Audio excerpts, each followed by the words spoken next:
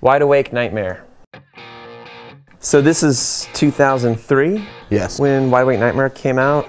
This is when Mikey had all but taken over BMX. BMX is Uh, driving a Trans Am, listening to Slayer and ACDC, just the badass of like the contest scene. Like kids were dressing like him, growing their hair like him, and it was like Mikey's world, and and we were living in it. And I feel like this part came out when his popularity was probably you know as high as it ever was, yeah. It stayed there for a while, but you're right. I Well, think this is where it kind of got there. and he had fully become one of the best overall bike riders. I definitely think he helped people want to be more like well-rounded. I think that era in general was a really well-rounded era, and I think Yeah. he probably had a lot to do with it. Just the fact that anything you threw in front of him, just for the love of it, like for the love of Yeah. riding his bike, it was like I don't give a shit what it is. I just want to ride. If it's ramp, if it's trails, if it's street, it's whatever it is. He was so good at it because of how much fun he had doing it. So far, it's been all like ramps and street doing rails like that. Yep. uh, rails to 180s when it wasn't, you know, an everyday trick, Yep.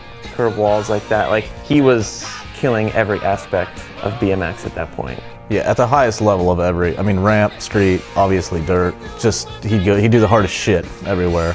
That's the hell hole out in Wyoming. And I, I always love this clip. He's sprinting at the, the wall and he just blasts his flatty off. Yeah, that's a good clip. Any clip where you're pedaling as fast as possible, the beginning. solid clip.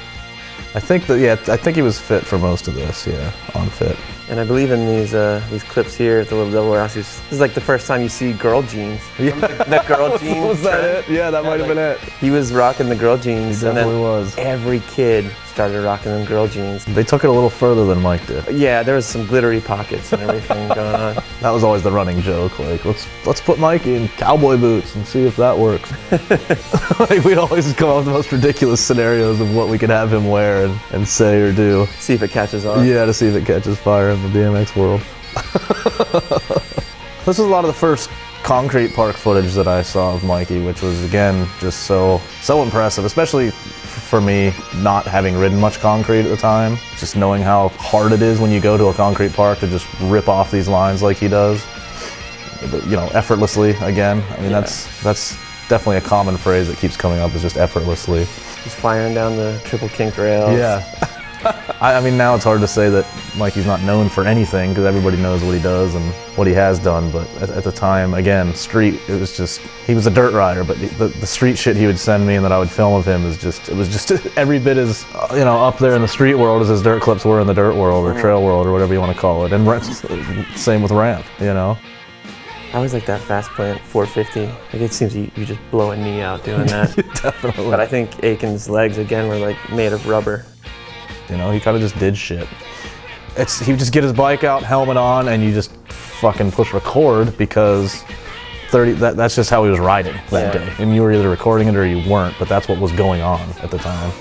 This was switchfoot at Bucks, Yeah, switching the feet, doing the turn down. just switching them all over the place. Yeah, I mean, that was one of the first times I think I'd seen that stuff.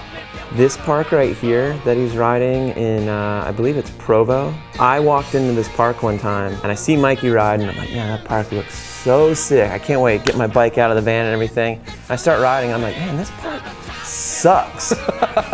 There's coping sticking out everywhere. The ramps don't line up. Yeah. There's like nails everywhere, and Mikey's just blasting it. And I was like, dude, how are you riding this Right. godforsaken park? And like the rest of us just sat down and watched him, and it was like the Mikey show for like two Right. hours. I loved these clips. It was like ramp, street, and trails all in one clip, kind of, you know, just like the fact that he was grinding and he caught the little style down into the ramp. Oh, that was that backflip fast plant The thing. 180 fast plant. I'm gonna take credit for that because I thought of it. I sure as shit didn't do it, but I thought of it and told him to uh, try it, and he did it. Of course, just kind of like that.